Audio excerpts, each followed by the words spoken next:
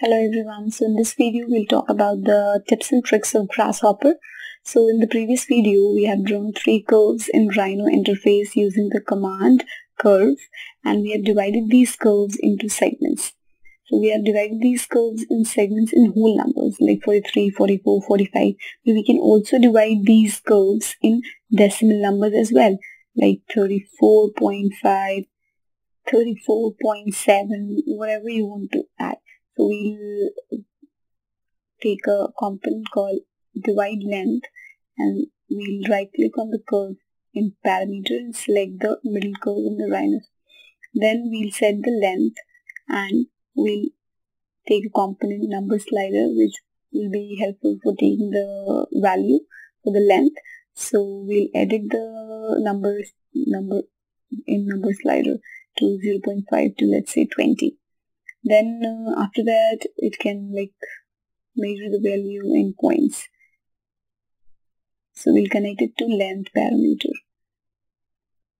So we'll turn off the preview of divide curve and the other components also like we can turn it off by clicking on spacebar and the menu will appear and then you can and then you can just uh, turn off the preview.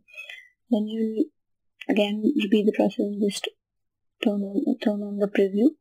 And if you want to like, remove any wire from a component you can press control and then you can just remove the wire from that component.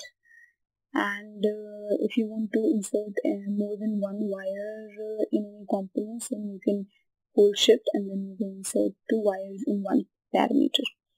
And also if you want to shift the number of wires from one component into another component at once then you can control shift and you can move all wires from one output parameter to other output parameter then you just delete the divide curve and the uh, count component so we have replaced part of our algorithm with minimal effort. Uh, so a grasshopper algorithm consists of components, input parameters, output parameters, and floating parameters. Input parameters are to make it easy to change data. If you want those curves to be a part of Rhino file, you have to bake them.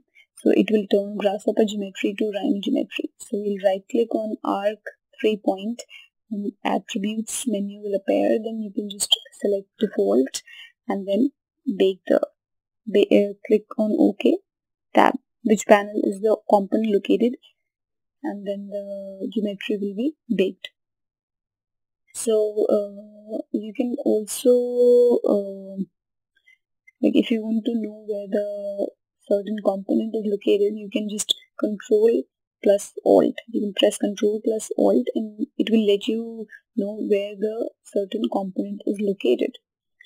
And also uh, you, if you want to find any component in a larger data you can go to edits find and you can type the name of the component and you can be able to find the that's specific component in that data.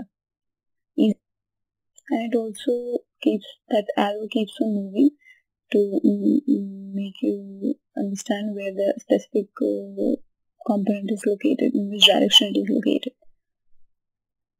Thank you for watching the video.